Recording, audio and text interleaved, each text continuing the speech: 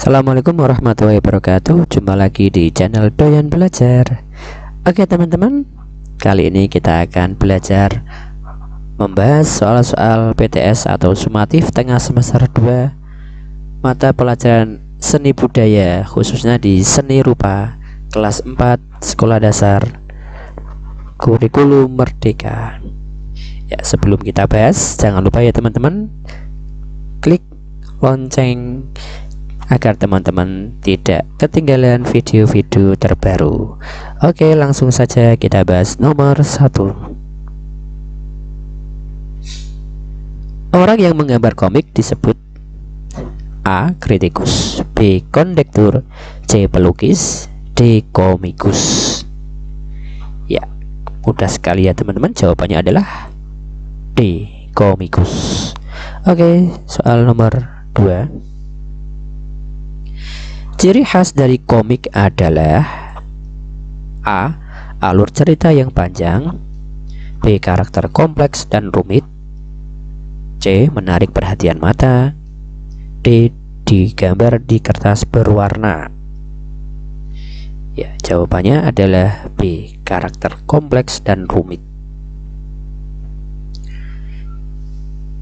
Soal nomor 3 Berikut bukan kertas untuk membuat komik adalah A. HVS B. Kuarto C. Gambar D. Majalah Ya mudah sekali teman-teman Jawabannya adalah D. Majalah Oke berikutnya soal nomor 4 Pembuatan warna pada gambar komik dapat digunakan A. Pensil warna B. Cat poster C.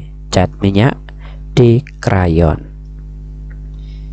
Ya jawabannya adalah D. Krayon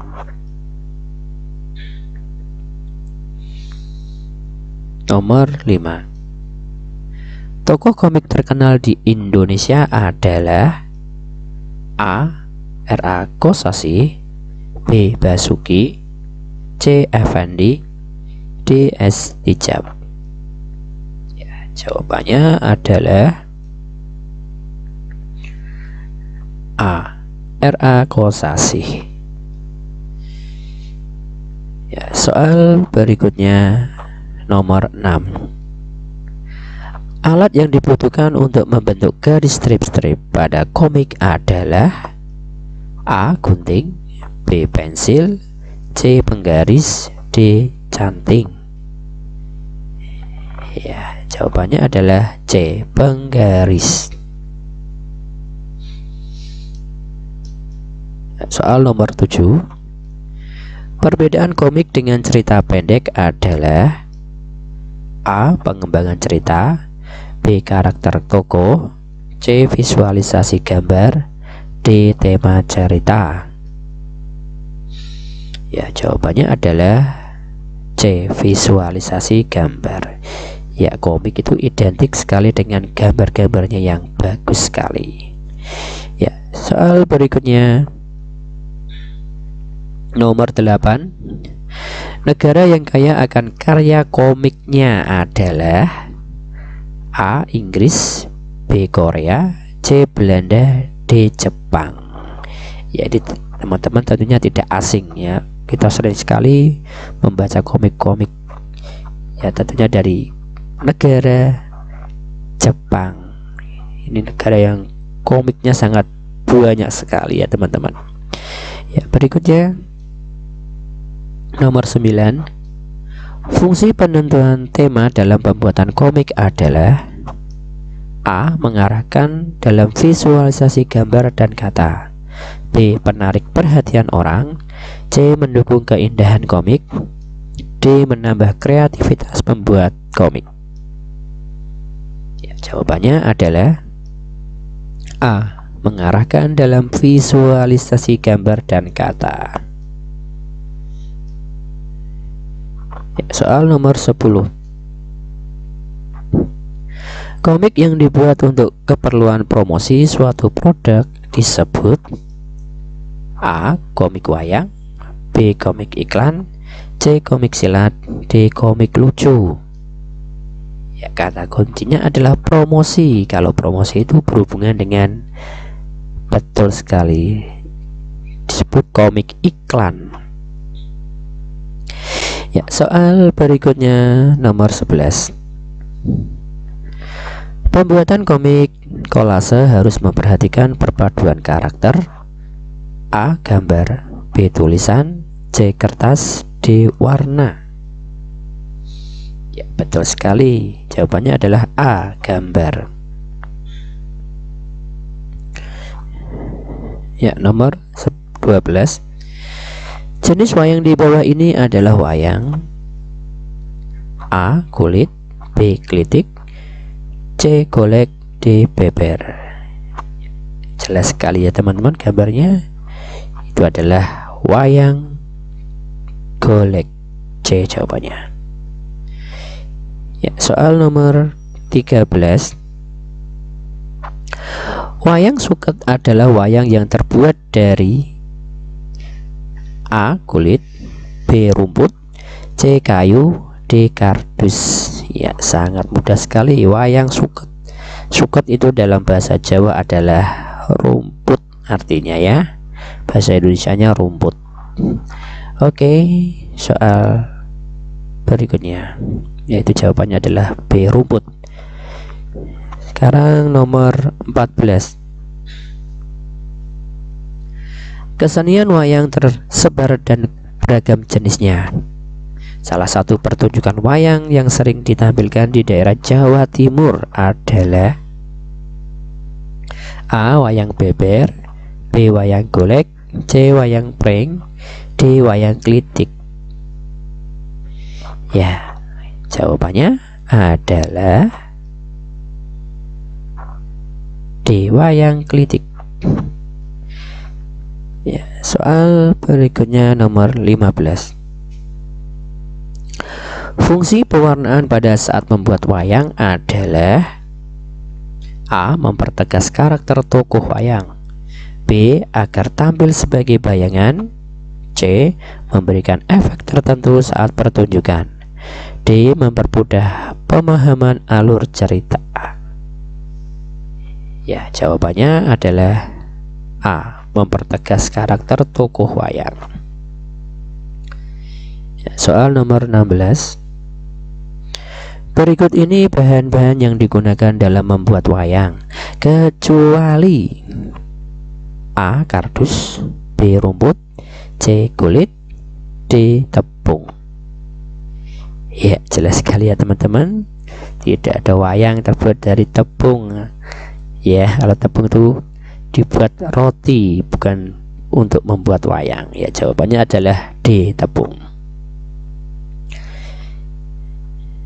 Nomor 17 Cerita wayang dapat berdasarkan pada cerita klasik atau cerita sehari-hari Contoh dari cerita klasik pada wayang adalah A. Cerita teman B. Cerita keluarga C. Cerita Mahabharata D. Cerita di sekolah ya, Jawabannya adalah C. Cerita Mahabharata Nomor 18 Pertunjukan wayang dapat menunjukkan ciri khas suatu daerah Hal tersebut dapat dilakukan dengan A. Menampilkan cerita legenda daerah masing-masing B. Membuat motif pakaian dengan motif dekorasi khas daerah C. Menggunakan bahasa khas daerah masing-masing D. Semua jawaban benar Kira-kira jawabannya apa teman-teman? Ya betul sekali jawabannya adalah D Semua jawaban adalah benar Tidak ada yang salah Oke Sekarang nomor 19 Bahan yang bisa kita gunakan untuk membuat pegangan pada wayang sederhana adalah A. Bambu B. Besi C. Plastik D. Kardus Jawabannya adalah C. Plastik Soal nomor 20 Wayang yang diciptakan oleh Sunan Giri sebagai media penyebaran agama Islam di Pulau Jawa adalah A. Wayang kancil B. Wayang kulit C. Wayang klitik D. Wayang beber Ya ini yang disukai sama anak-anak kecil Karena menarik sekali gambarnya Ya betul sekali teman-teman. Jawabannya adalah wayang kancil. Oke, sekarang kita masuk ke nomor 21. Komik merupakan sarana menyampaikan pesan melalui. Ya kira-kira apa teman-teman? Kalau komik identiknya dengan apa? Ya betul sekali teman-teman. Melalui pesan melalui gambar ya, soal nomor 22 Krayon berbentuk seperti titik-titik namun lebih lunak. Ya, teman-teman pasti banyak yang punya krayon kan? Ya, kira-kira jawabannya apa, teman-teman? Ya, betul sekali. Jawabannya adalah pensil. Krayon berbentuk seperti pensil namun lebih lunak. Oke, sekarang kita masuk ke nomor 23. Tempat menabung uang di kamar adalah Ayo ini pasti semuanya punya nih Ya ini adalah kebiasaan yang sangat bagus sekali Betul sekali jawabannya adalah celengan Kalau teman-teman celengannya udah penuh mungkin nanti uangnya bisa ditaruh di bank Biar lebih aman Oke sekarang kita masuk ke nomor 24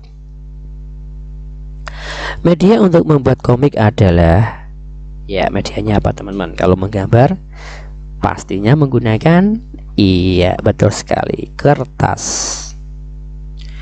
Oke Sekarang Nomor 25 With NS adalah pencipta komik terkenal yang berjudul Ya ini salah satu komikus yang terkenal di Indonesia ya teman-teman. Komik yang terkenal itu berjudul Godam. Ya pernah ada yang pernah membaca? Belum. Komik Godam ini bagus sekali ya teman-teman. Oke kita masuk ke soal nomor 26 kolase adalah karya seni dengan teknik. Ya semuanya pasti pernah membuat karya seni kolase. Ya betul sekali teman-teman. Jawabannya adalah menempel atau ditempel-tempel ya teman-teman. Sehingga membentuk suatu karya yang sangat indah sekali. Ya soal nomor 27 wayang di samping terbuat dari apa teman-teman? Itu jelas sekali ya teman-teman. Ya itu terbuat dari kardus. Ya kardus dibikin pola setelah dibuat pola baru dipotong. Gitu ya teman-teman. Oke. Sekarang nomor 28 Supaya indah, wayang golek yang sudah dipahat akan dirapikan dengan titik-titik dan titik-titik dengan menggunakan cat yang tahan lama. Kira-kira apa teman? Ya, wayang yang sudah dipahat sudah membentuk topeng yang bagus agar lebih indah lagi ya. Betul sekali teman-teman. Jawabannya adalah diamplas dulu setelah halus Kemudian dicat Agar tampilannya tambah bagus sekali. Ya soal nomor 29 Wayang kulit tidak hanya dapat dibuat dari kertas, tetapi juga dapat dibuat dari tumbuhan seperti ya ini ada wayang suket ya teman-teman. Ya berarti jawabannya adalah rumput. Ya. Berikutnya soal nomor 30 wayang kulit adalah salah satu kesenian wayang yang berasal dari nah ini ya kebanggaan Indonesia ini wayang kulit teman-teman ya. Ini berasal dari mana teman-teman? Ya betul sekali. Jawaban adalah Jawa Tengah